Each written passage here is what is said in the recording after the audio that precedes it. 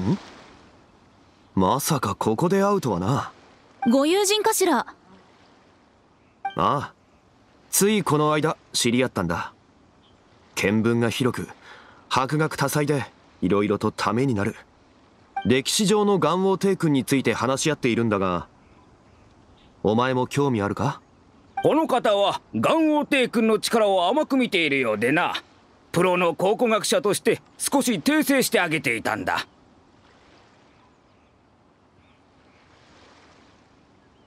ちょうど今世界最初の村の話をしていたところだよ。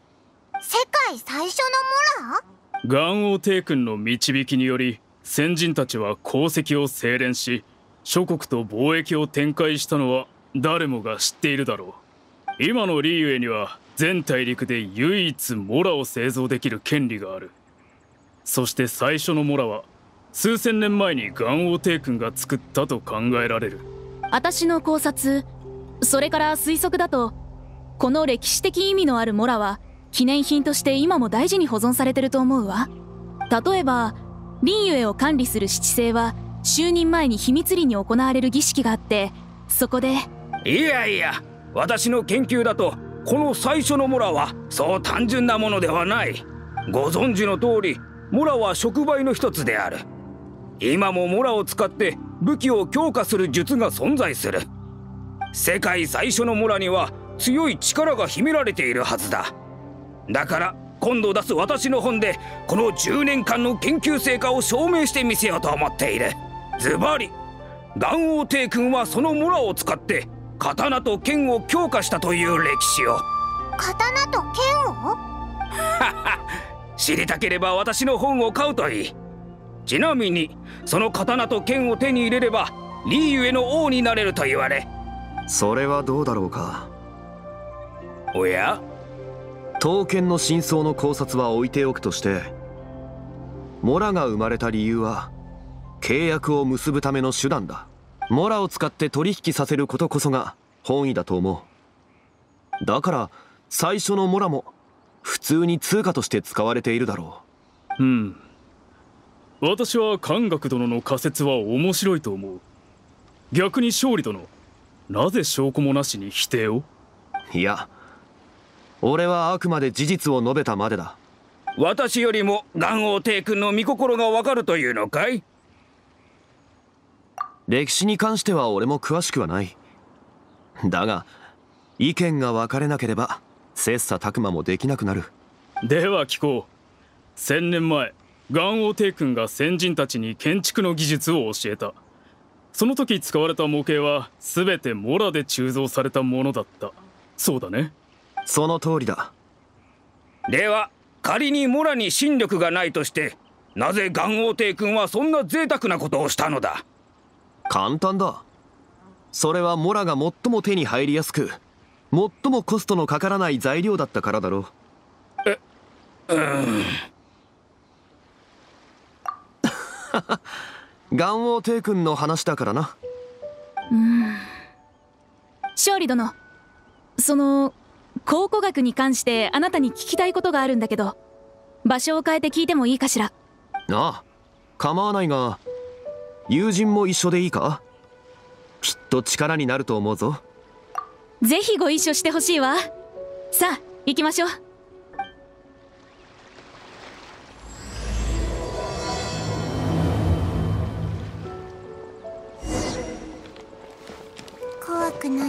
怖くない。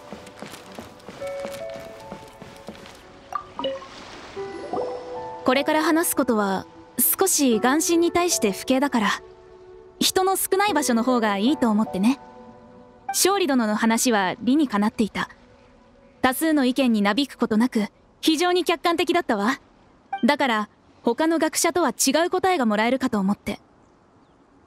勝利殿眼神に殺された魔人はみんな悪だったと思う？善悪はさておき元王帝君は契約を尊ぶ。だから殺された魔人はきっと契約を保護にしたはずだ。おお罪もない奴を殺すなんてこと元王帝君はしないと思うぞ。でも考古学の研究をしていく中で潮の魔人に関する伝説を耳にしたわ。潮の魔人ヘウリア彼女は善良な魔人だった。でも戦争でモラクスにモラクスに実に不名誉な方法で暗殺された。嘘だろ？それは話せば長くなるな。真相もお前の知りたいものではないかもしれない。構わないわ。知ってることを教えてほしいの。ずっとずっとこの件を調べてきたから。いやただどこから話せばいいか。おいたいた。勝利先生探したぞ。武器を下ろせ。離れろ。洗顔軍に通報するぞ。武器なんか持ってないんだが。ななあ落ち着いてくれ。俺はスネージ内から来たただの考古学研究員だ。ファデュイは信じないぞちゃんとリーユエ総務士にも報告したし正式な許可書類も持ってる。これからリーユで考古学調査を行いその調査結果を全て総務士にも共有することになっている。それで王城堂の勝利先生は物知りだと聞いて俺の顧問になってほしく王城堂に大金を支払ったんだ。つまりは王城堂の仕事だな。仕事なら仕方ないさ。王城堂には世話になっているからな。さすが勝利先生。じゃあ今すぐ出発しようか。待って私もついてっていい？私も考古学者だから役に立てるわ。では先ほどの話はまた後にしよう。そうだ。お前も一緒に来い。この先の経験はお前の力になるかもしれない。あれは七神が確立される前のこと魔人はもういないしお前の目標でもないがお前の旅に少しは意味をもたらすと思うぞ。待てこれは観光じゃなくて考古学チームだ。人が多すぎる。しかし俺の友人には唯一無二の才能がある。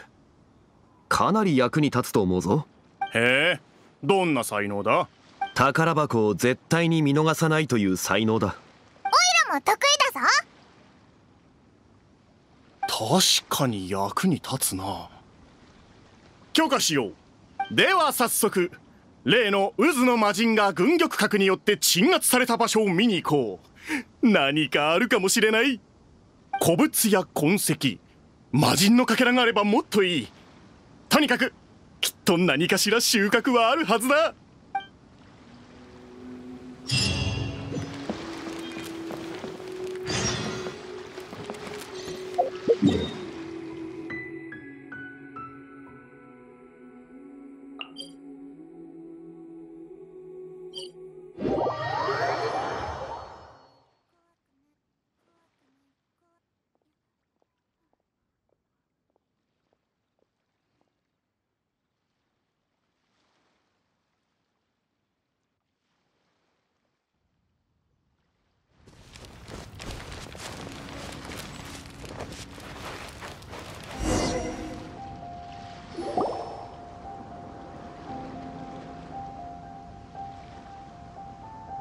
うーん。特に変わったところはないな。価値のあるものを見つけられるだろうか。お結構壮大だと思うぞ。景色の話じゃない。あんな対戦があった後なら何か違和感を覚えるところがあるはずなんだが今はどこから探せばいいかもわからんな。ここは古雲閣。